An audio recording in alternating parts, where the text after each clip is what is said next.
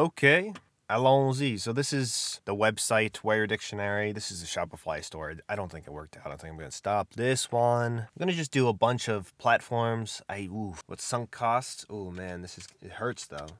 To abandon something? What, okay, climate. It was the first one I had on, oof. What about if I have some that are unique to Shopify and I don't have on the regulars? I would see the adverts. See, they had too many a climate. Uh, it actually doesn't look that bad. To become, can I uh, zoom in? Acclimate. To become accustomed to a new climate or environment. Yes. And then I have a ku ri me i. Uh, I guess extension thingy to. Yeah. Oh, fa da da da. What else do I got for this?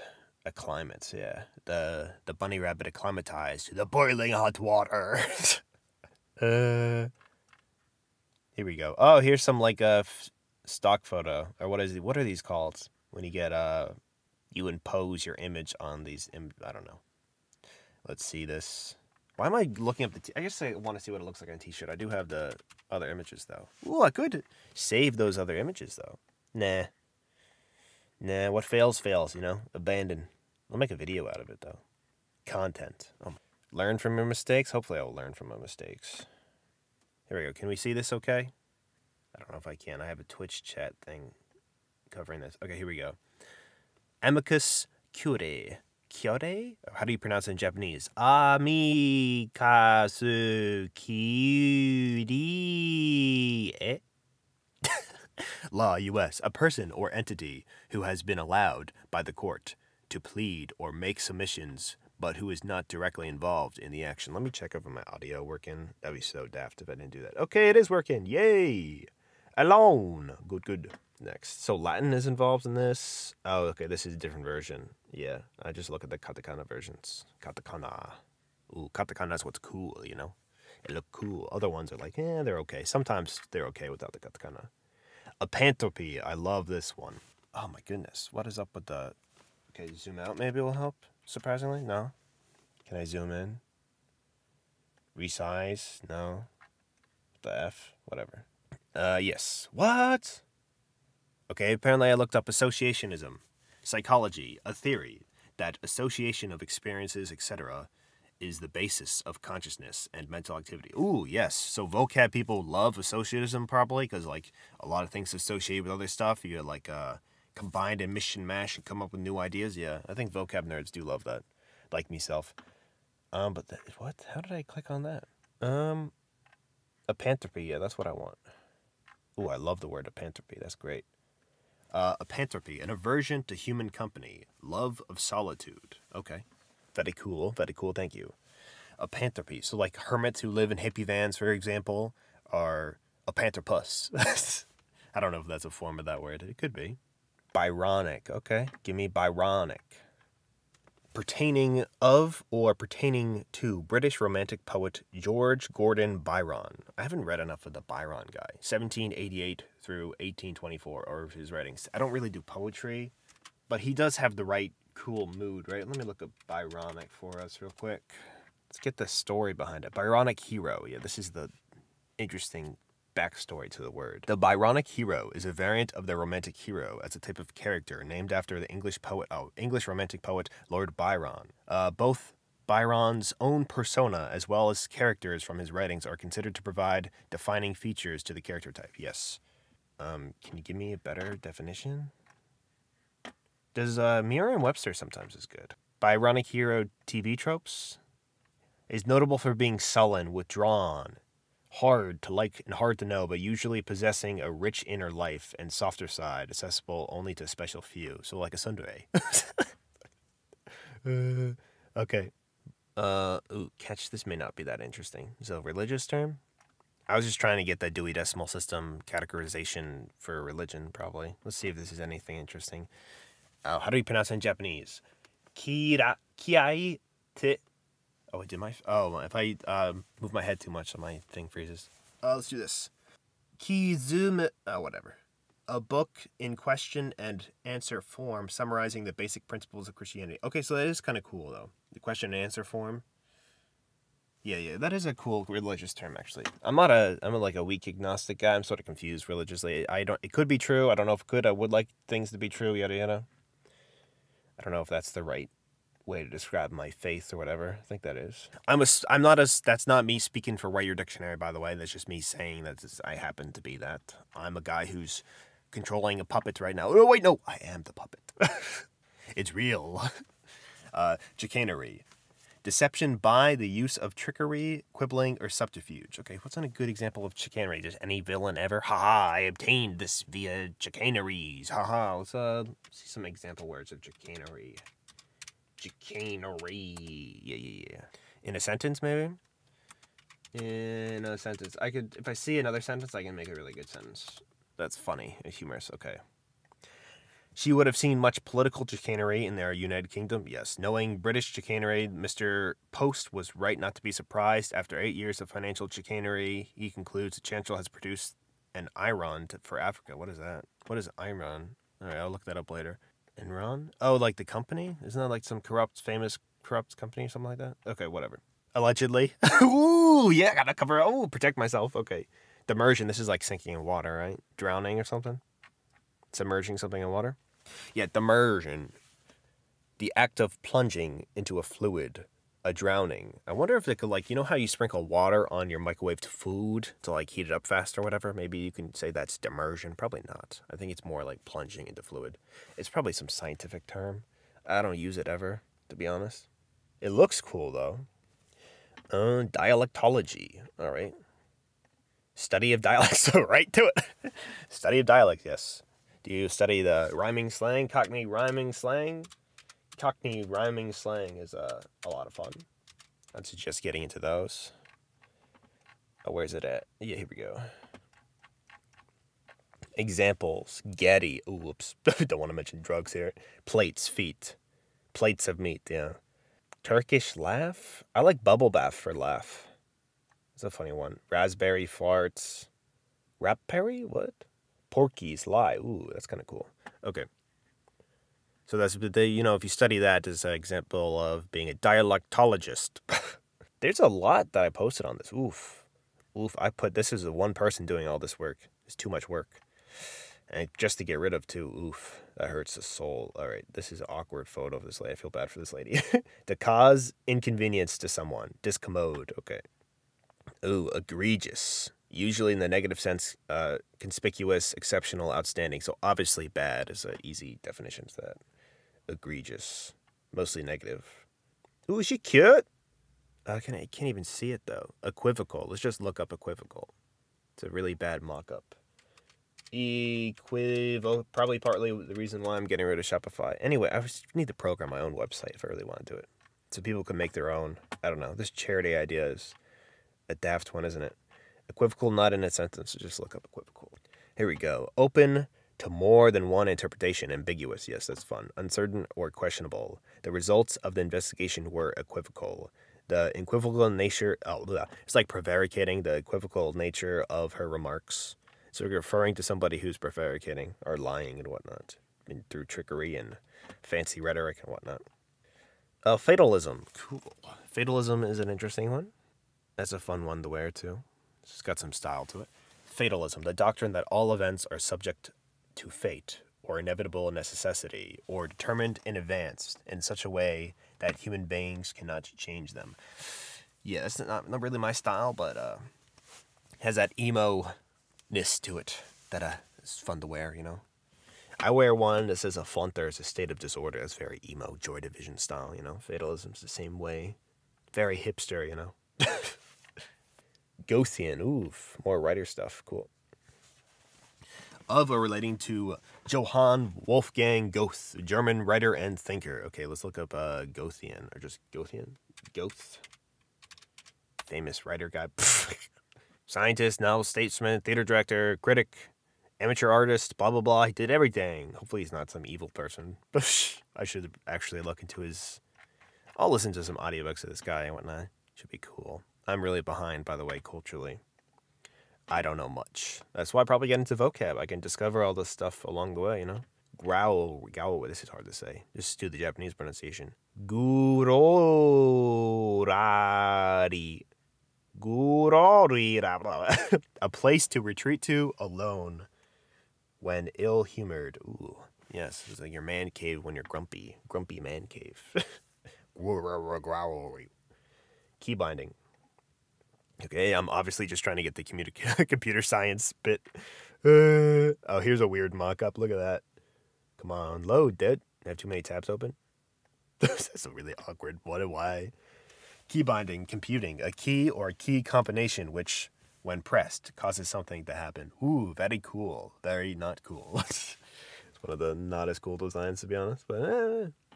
somebody's watching this video is like, no, that's my favorite design. It's the best one. Eh, I don't know. I don't know.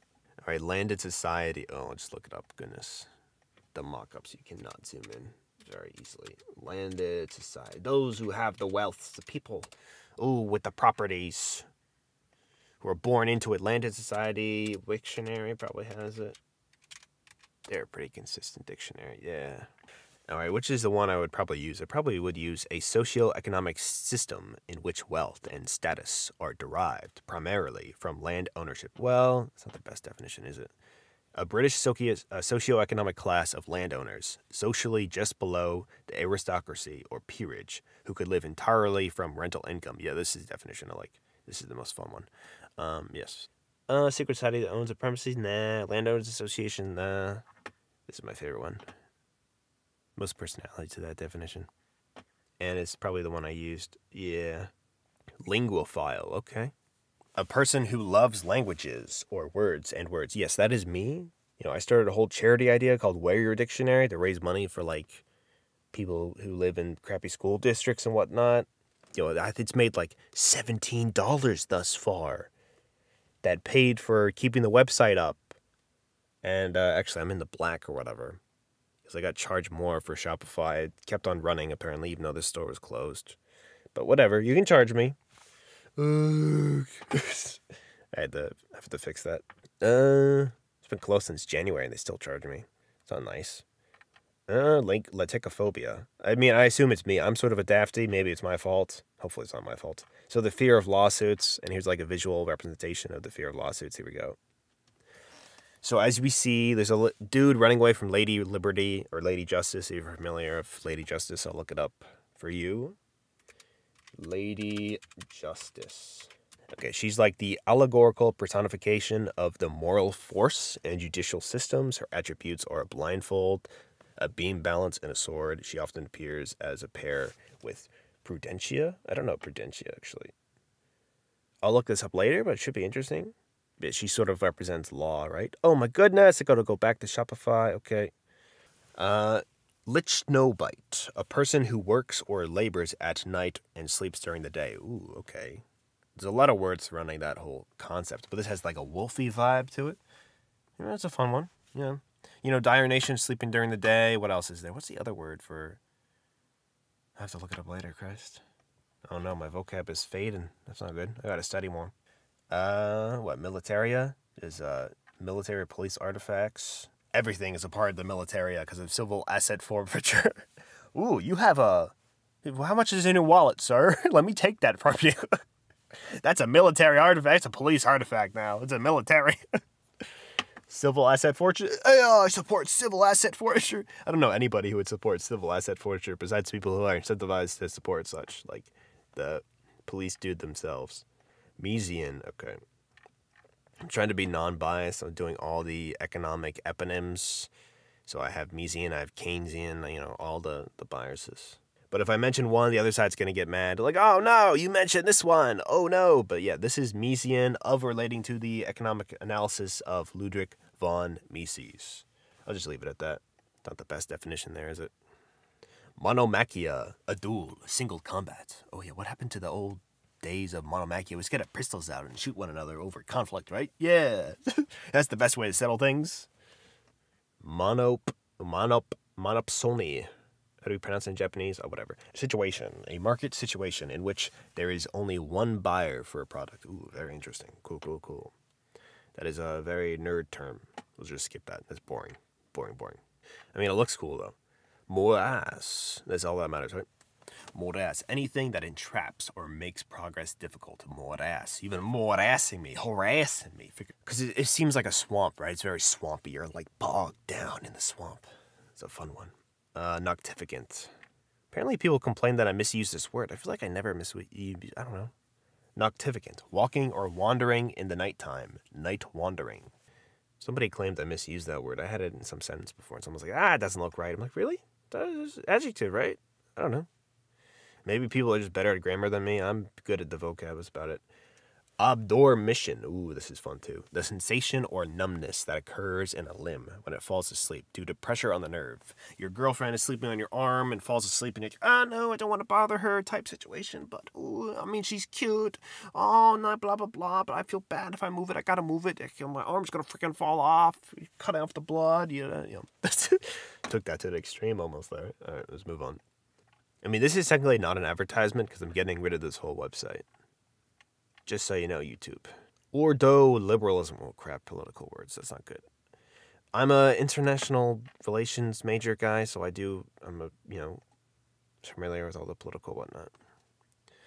Uh, you can't even see it with this mock-up. All right, I'll just look up Ordo liberalism. You're allowed to do whatever you want as long as it's what we tell you to do. it's like, oh my god um, is a German variant of economic liberalism that emphasizes the need for the state to ensure that free market produces the results close to its theoretical potential. Wait, no, that's not a good. Well, Wiktionary, do you do a better job? A political philosophy that emphasizes maximizing the potential of the free market to produce what? So, oof. Yeah, that's like um, very simplified definition. That's not good. Orthopraxy, right belief Oh no, here we go. Orthopraxy, right belief combined with right practice. Oof. Are you, are you following the orthopraxy? Are you saying the right things? Otherwise, you're in trouble. You're in trouble, sir. We have divergent beliefs? Nah, you're not allowed to have those. Paleogeography, the study of historical geography of the chiefly physical, but sometimes political slash cultural geography of the world in the geologic past. Ooh, fun one. Oh yeah, this is epic fun. And this is a actually its own sub classification within the Dewey Decimal System too. It's a great word though. Parapsychology, the study of that which cannot yet be explained, psychic or occult phenomena such as telepathy and ghosts. Oh, very cool. It's very fun. X X Files, you know, good stuffs. Uh, looks like I just did a bunch for sub classifications, whatever, for Dewey Decimal System, but it's okay. Not the most fun way to go about it, but pharmaceutical, of or relating to pharmacy or pharmacist. that would be funny if a pharmacist guy's wearing this one under like a lab coat or something. It's like, ooh, yes, that is what you are. You're pharmaceutical. Yes, I am pharmaceutical. Same thing if a Philadelphia lawyer is wearing the, the word for Philadelphia lawyer, that would be again funny. Philadelphia lawyer, U.S., a clever, crafty, or otherwise extremely adroit practitioner of law. Ooh, yes, he's very clever, that guy, for wearing the shirt that says Philadelphia lawyer, saying what he is. Pluralism, Oh, Christ, how many do I have to go through? I mean, I'm deleting this store. Better go through them. Better go through the content. Pluralism. The acknowledgement of a diversity of political systems. Oh, yes. You want to try them all. You know, very experimentalism. You have little groups experimenting with each type and we see which works out the best. Trial and error style. Yeah. Or you're, you're willing to accept like different local practices and whatnot. Sort of like subsidiarity. It's a Catholic principle, and again, I'm not Catholic or whatever. Just it's a cool idea. Is the principle of social organization that holds that social and political issues should be dealt with at the most immediate or local level with that is consistent with their resolution. Yes, it's very cool. Pneumatics. Oh, the branch of mechanics that deals with the mechanical properties of gases. Yeah. oh, I farted. Oh, I cannot pronounce this one for my life, by the way. Here we go. Psephology. The predictive or statistical study of elections. Elections. Yeah, everyone was a fav, fav, uh, after the election between Trump and Biden. Ooh, ooh, something, uh, did something naughty go on? No, it didn't. Look at these maths. So something naughty go on. Look at this uh, anecdotal story. No, look at this anecdotal story. Uh, uh, it was a press. Sorry, I, I don't have a horse in that race. Or wait, no, I do. Whatever horse is yours. I'm a coward. I believe whatever you believe. okay, pulchritudinous, having great physical beauty. Let's just look up a babe, okay? Pulchritudinous. We just, uh, we need to look up Beidou real quick. The babyless of the babes in Genshin Impact. Beidou game model, sure. Did I look up that before, really? Okay. What is with that? Oh, this is like an action figure or something? The babeliest of the babes. Yes, the babes. Oh my gosh, what a babes. Babes, man. Oh my goodness, babes. Move on. Here we go, Pulchritudinous. Can you see this? Literary. Having great physical beauty. Yeah. Quietism. Ooh, a cool one. Ooh, yes. A form of mysticism involving quiet contemplation. Shut up!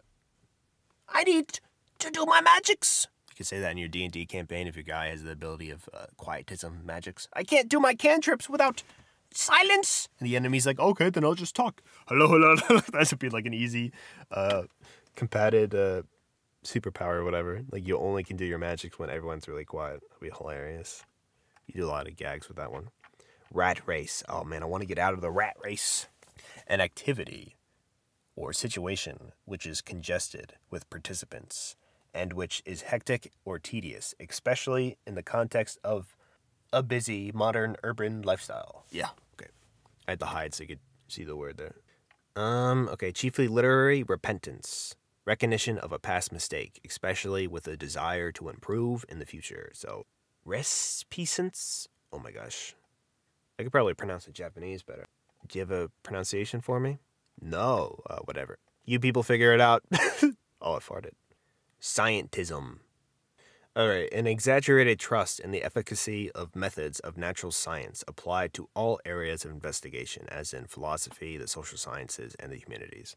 In all the humanities, blah, blah, blah. It's like, ooh, unfounded uh, beliefs in science, like just unwarranted, just for no reason, just because of credentialism. You know, hey, yeah, I worship science. Solvagant. Solvagant? Solivagant? Wandering alone. Yes, I wander alone up this mountain, this this lonely road, this yellow brick road.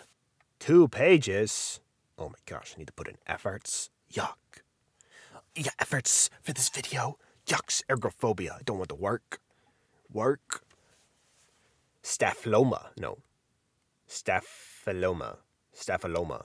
You know, I'm like taking these classes and I can't pronounce the medical word. It's not good. Medicine. A abnormal protrusion of the uvule tissue through the eyeball. Yes, uvule. I mean, this is what I do in college. I really should be able to pronounce this. I mean, I'm not doing in person classes right now. It's all multiple choice. It's very like poorly organized online classes. Theodicy, theology, philosophy, a justification of a deity or particular attributes of a deity. My gosh, she's cute. Oh wait, is she cute? Can I tell? Whoever's in the mock-up. Oh, she just looks normal. For a second, I thought she was like cute. I mean, she's, she's somewhat cute. Somewhat cute. All right. Theophany, a manifestation of a deity to a person. Bowie appeared to me in my dream. It was a theophany. Oh, wait. It was a theophany. David Bowie's a god, obviously, just so you guys know. Topology, mathematics, a branch of mathematics studying those properties of a geometric figure or solid that are not changed by stretching, bending, and similar homeomorphisms. All right, bye. We gotta edit this.